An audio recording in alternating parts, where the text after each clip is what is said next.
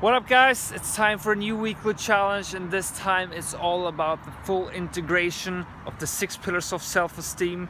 That is what we've been doing for the last 12 weeks and in this video we're going to talk about the pitfalls but also very briefly go through them all again.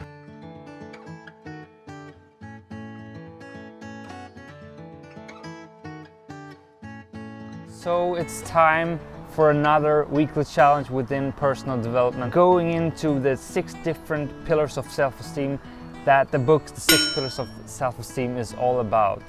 It is written by Nathaniel Branden, the king within self-esteem. The book is awesome.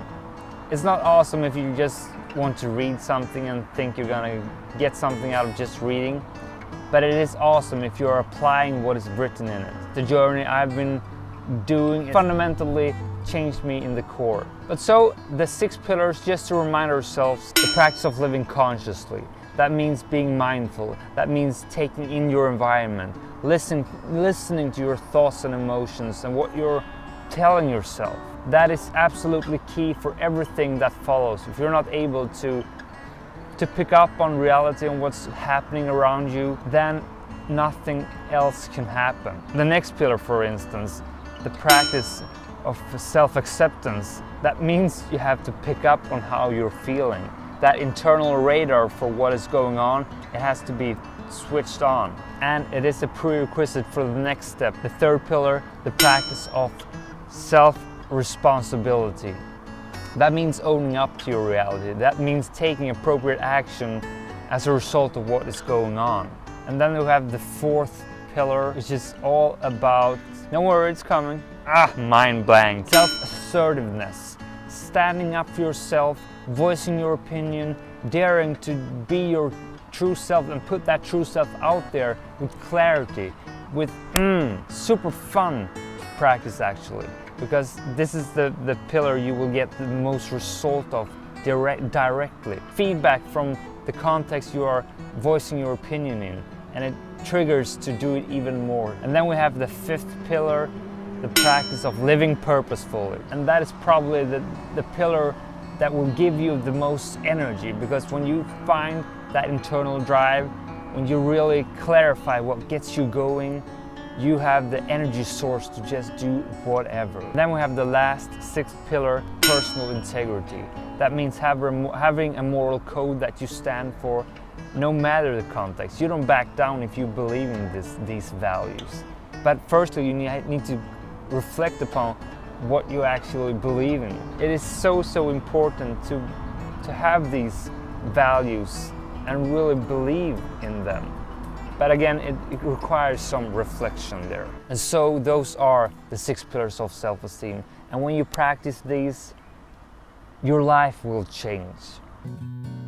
There are some pitfalls to doing this. Nathaniel Branden in his last chapter talks about how you have to reach for that hero within, how you need to bring your better self every day in order to make the right actions so you can develop these skills that are required. It is about the actions, taking the right actions every day in alignment with what you have to do to build self-esteem. It's not something that will happen autonomous. If you want to be mindful, if you want to shut down all the external sources that color your world, you need to do that actively. It's not passively done.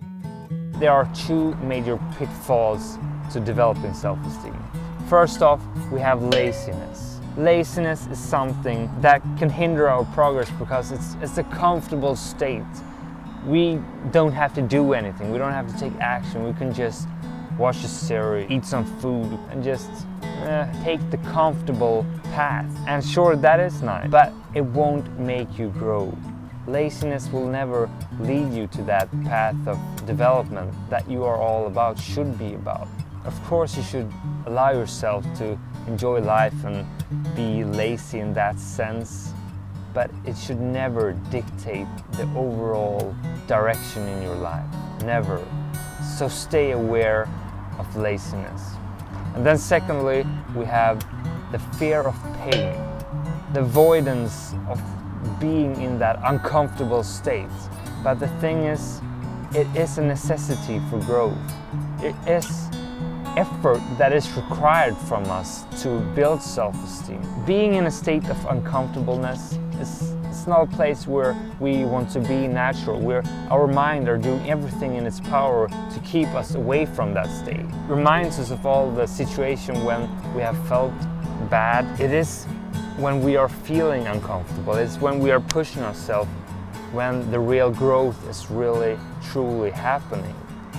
And that is also why my not my, but the rejection therapy challenges that I've been doing every other week to also develop my self-esteem has been such a good tool for also building self-esteem because it is about going into that zone of uncomfortableness, going after the things that you truly want, things that aligns with your values and beliefs, and doing it anyways.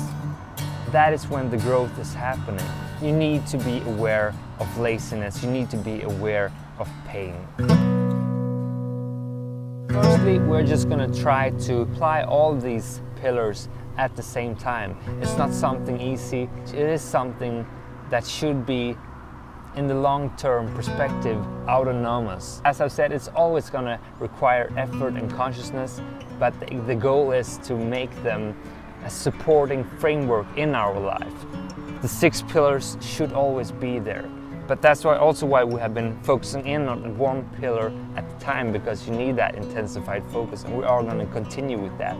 But this week all about thinking about the holistic perspective on integrating them. The second objective is the reminder of why we are doing this. We're going to use Tony Robbins' little method for how to find that core motivation. The Tony Robbins tool works like this you are going to state 10 reasons for why you must change. What is the cost of not making this happening? If you're not going to go all in on building self-esteem right now, what will that cost you? Will it make you not be able to develop to the person you want to, not be able to, to have the career you want to? State your reasons. The second thing is to state 10 reasons for why you can do this. Don't you have the ability within you to do it? Don't you have a voice to be assertive with? Don't you have a drive to just be who you really are? State 10 reasons for why you can do this. And then lastly, bring out all the joy, all the good things, the benefits that will come if you develop true self-esteem. But so the idea with this little exercise is just to get clarity for the why, the reasons for why you should develop your self-esteem. And it is very important to do this. It is what will give you that extra energy and driving source when you're not in the mood for personal development, when laziness is all around you. And lastly, we're gonna do some sentence completion exercise as we are always doing when we're doing these weekly challenges with the six pillars. The sentence completion exercises means to finish off a stem sentence, like living consciously to me means. But this week we're gonna have one sentence for each of the pillar to remind us of what they mean.